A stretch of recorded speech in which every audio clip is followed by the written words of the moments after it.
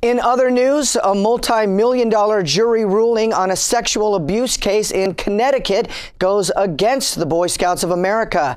The allegations were leveled by an unidentified man who said that as an 11 year old scout in the 1970s, he was sexually abused by an older youth leader within his troop. His lawyer, Paul Slater, won a $7 million settlement against the Boy Scouts, and Slater says the Scouts' headquarters in Dallas contains a vast wall of filing cabinets with documents detailing hundreds of people removed from their position for abusing children. Gunfire breaks out at another high school, this one in Portland, Oregon. Now, police have two suspects in custody, and a third suspect still is on the loose. Two victims are in critical condition after suffering multiple gunshot wounds. Police say the attackers opened fire while the students were on their lunch break. It happened at Rosemary Anderson High School, a school for about 200 at risk teens. All of the students there are either homeless or have been expelled from another school. Now, 18 year old Markel Dugas and 22 year old Lonzo Murphy are under arrest with charges pending. Investigators say the suspects are linked to gang related activity. On the health forefront, news that more young people are puffing on e cigarettes. Two new studies finding that much higher numbers than we've seen from the government.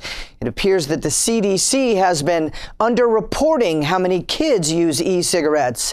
20% of students in Connecticut and 29% of teenagers in Hawaii have used e-cigs, far higher than CDC statistics, showing only 4.5% of high school students used e-cigarettes at one time or another.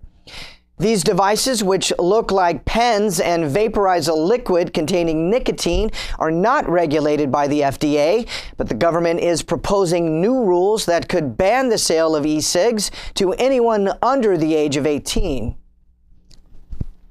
Well, it's Christmas come early for marijuana advocates across the nation, compliments of Congress. A major concession in the war on marijuana. Not only did the Senate send a trillion dollar spending bill to President Obama's desk, but they also made history along the way. As soon as President Obama puts ink on the dotted line, the Department of Justice will officially no longer arrest or prosecute anyone who sells or uses marijuana in the 32 different states that currently allow medical marijuana. The DEA still lists marijuana as a Schedule 1 substance in the same category as heroin and LSD. But the Department of Justice oversees the DEA, and this is a milestone victory for medical marijuana advocates. Well, with the holidays right around the corner, we take some time to stop and take a look at some of the most touching stories in recent days. One of those takes place in Louisiana. That is where a Navy veteran and a father ran into a burning home to save his son's life. And by the time firefighters showed up on the scene, they could hardly believe what they saw. 42 year old Jonathan Robertson had forged his way back into the burning home wearing no protective, no protective gear at all and pulled his 11 year old son to safety. Both the father and son suffered several burns, and the boy will most likely spend the holidays in the hospital, recovering from burns on over 40% of his body. But sadly, in saving his son's life, Jonathan Robertson sacrificed his own. After cling, clinging for life for nearly 48 hours, Robertson died in the hospital on Sunday. His wife Laura fought to kick a door open for her husband. She managed to escape without any injuries, but lost her home and her husband in the tragic fire. Now the community in Grand Prairie comes together to help the grieving family in their first holiday without their dad. Well, if you think you're busy this holiday season, imagine working for the UPS. The company with the brown trucks announced on Monday that it isn't just the busiest day of the year for processing centers, but it is the biggest day ever in company history. 585 million packages running through conveyor belts being loaded onto trucks. And that's well over half of a billion packages in one day. Next Monday will be its busiest day of the year for deliveries. Of course, last year's delivery process was a huge catastrophe. A logjam at every turn kept millions of packages from reaching their destination on time. UPS says they are much more prepared to handle the load this time around. Debate stirs out in Los Angeles, a courtroom divided over free speech, government censorship, copyright law, foreign policy, and religious tension. Believe it or not, all of these major controversial issues stem from one YouTube video.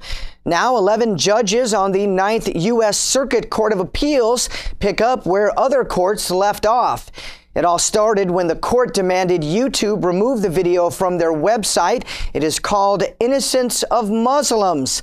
But the reaction has been far from innocent. In fact, when the footage showed up online showing an actress describe the Prophet Muhammad as a child molester, she started getting death threats from angry Muslims. Over in the Middle East, Muslims stormed an American embassy and murdered Ambassador Chris Stevens, along with three other In Benghazi.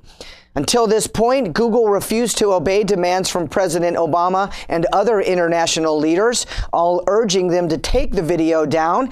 But now the ruling is up for an appeal, and Google continues to defend their stance and not allow government censorship of their content. If the court rules against YouTube, it could set a precedent leading to more videos pulled from the internet.